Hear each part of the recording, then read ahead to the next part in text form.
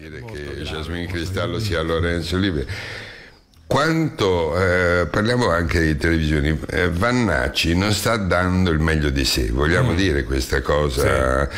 Cioè, in eh, televisione, per carità, Vannacci prenderà un miliardo di voti, non voglio sì. intromettermi nella campagna elettorale, però fa bene Alessandra Menzani su eh, Libero a notare che gli spettacoli che sta facendo oh, Giuseppe Cruciani, mm. che è un genio, Giuseppe sì. Cruciani è assolutamente un genio, devo dire un genio perché ha una spalla d'eccezione che è David Parenzo e credo che non so se il duo si spezzasse, non so se ehm, darebbero lo stesso valore, ma al di là di tutte le cose surreali che dicono alla zanzara. Giuseppe Cruciani è uno che a leggere la recensione dei suoi spettacoli, ne darà altri prima delle elezioni, una il 21 maggio a Torino, l'altra il 29 maggio al Teatro sì. Manzoni di Milano, beh queste cose secondo eh, Alessandra Menzani sono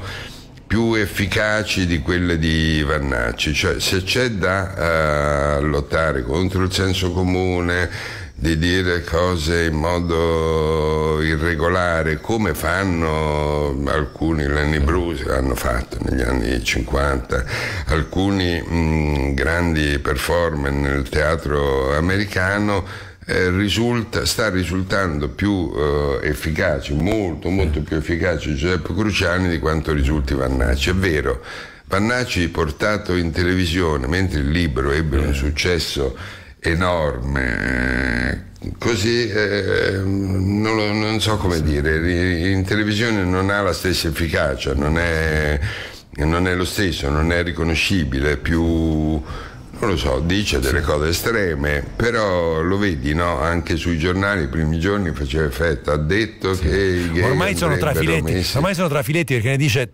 talmente tante che uno dice vabbè, insomma, ok, allora il generale Vannacci, Brava. prendiamo atto che il generale Vannacci ha detto. Allora ragazzi, leggo e mi stupisco. Filippo Turetta ha ucciso Giulia Cecchettin con crudeltà e premeditazione rischia l'ergastolo. Notizia eh sì. di oggi. Ora, ragazzi, state attenti a questa cosa. Rischia l'ergastolo, rischia l'ergastolo in qualsiasi altro paese rischia, del mondo, processo, cioè. dell'universo globo. Uno che ha, uno che ha. Lasciamo perdere queste piccole minuzie, la premeditazione, la crudeltà. Eh, sì, benissimo, saranno analizzate. In qualsiasi altro paese del mondo, un signore, un ragazzo, un ragazzo, un assassino, un infame che convoca la sua ex fidanzata e poi la ammazza lasciando il cadavere vicino al greto di un fiume, alla, alle, alle, sponde di un fiume e poi scappa verso l'Austria da quello che mi ricordo, verrebbe condannato in una settimana a una pena severissima, cioè l'ergastolo, e non uscirebbe più di galera. In Italia invece vedrete non andrà così. Processo, Sarà condannato certamente all'ergastolo, dopo vent'anni uscirà, eccetera, processo, eccetera. La cosa che mi stupisce, rischia l'ergastolo. Eh, ma, ma porca puttana, ma se ammazzi una così,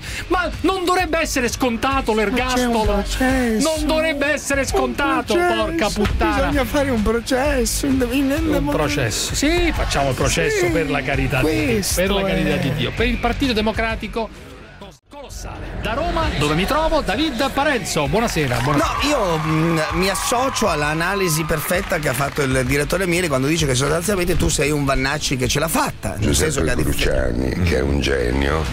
Esatto, eh, esattamente. Che eh, sei un Vannacci che ce l'ha fatta. Sei il miglior servizio alle destre.